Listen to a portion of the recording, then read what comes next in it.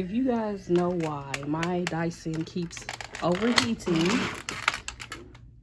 please let me know because I don't do mess tests or anything.